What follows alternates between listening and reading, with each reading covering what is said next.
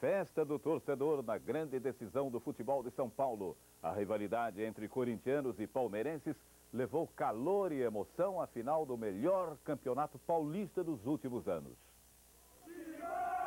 Guerreiros de verdade não se abatem com o tempo. Enfrentam vento e garoa de peito aberto.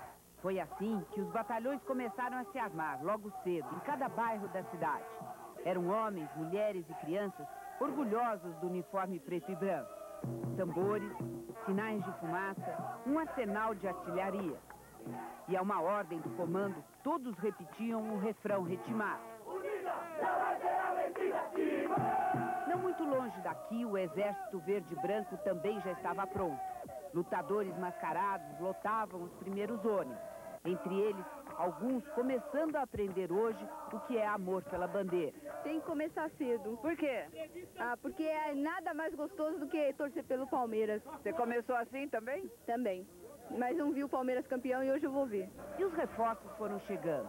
Um, mais outro. Logo era um imenso comboio, transbordando de gente. Ele seguiu em ordem unida, tomando conta do caminho. Minutos depois, passava a outra caravana. Novos gritos, bandeiras tremulando. Uma energia que mal podia ser contida.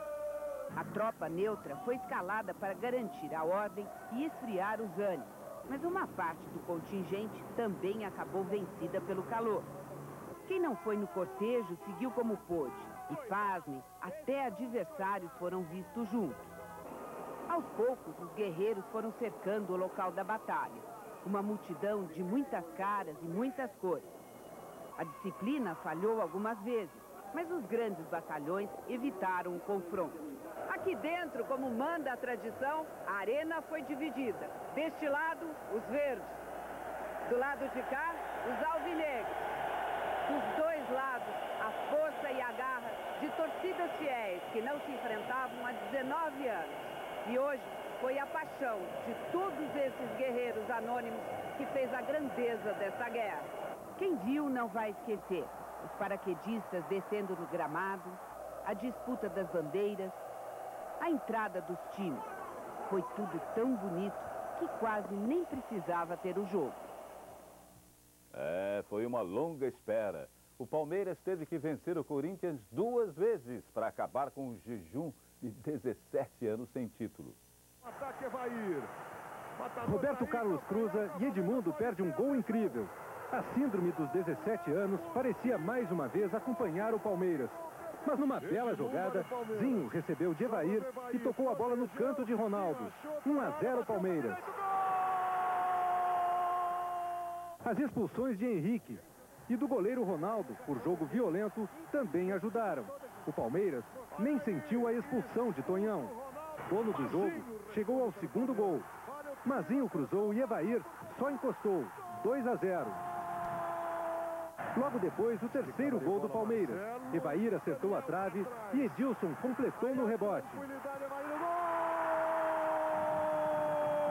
Golear o Corinthians depois de perder o primeiro jogo por apenas 1 a 0 e chegar a essa decisão, nove pontos à frente do adversário, não foi suficiente. O Palmeiras ainda precisou jogar mais 30 minutos para mostrar que foi o melhor time do campeonato.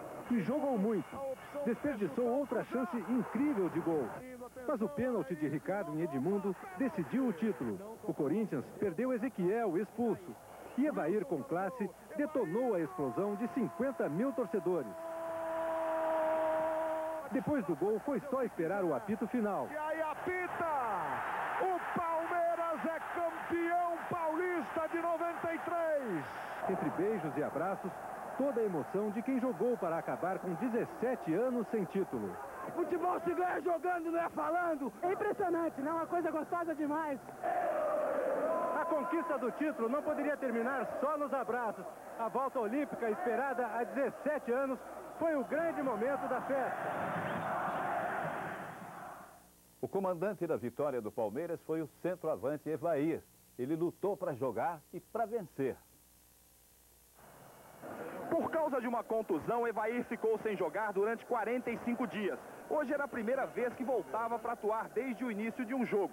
O condicionamento físico não era o ideal, mas ele foi inteligente e usou mais a cabeça do que o corpo. Com isso, foi fundamental para a conquista palmeirense.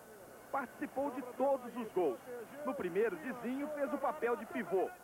No segundo, mostrou o oportunismo dos grandes artilheiros e estava no lugar certo, na hora certa, para só tocar para as redes. O terceiro gol de Edilson aconteceu depois de um rebote provocado por um chute dele. E se não bastasse, confirmou o apelido de El Matador, cobrando com categoria o pênalti da prorrogação. A missão estava cumprida e ele acabou deixando o campo antes da prorrogação acabar, mas com a certeza de que tinha sido o terror do jogo.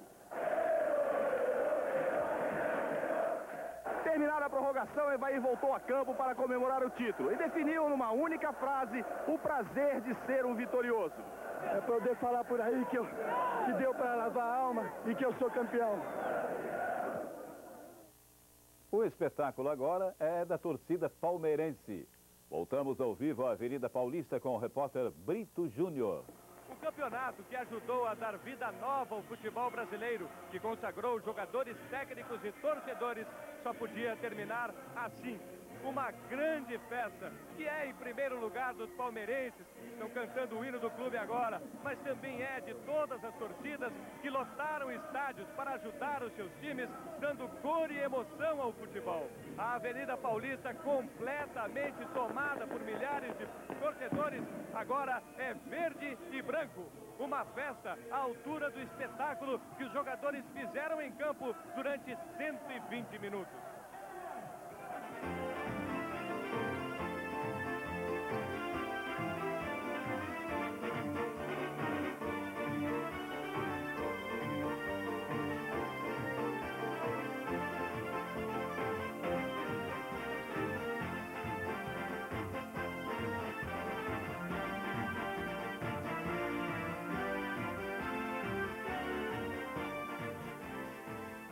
Boa noite. Boa noite.